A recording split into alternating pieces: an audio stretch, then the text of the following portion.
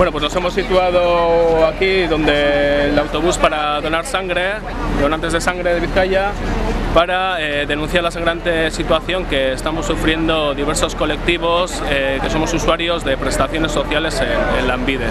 Eh, con esta acción queremos denunciar que nos están chupando literalmente la sangre, vampiros como el señor Urcuyu y el señor Rajoy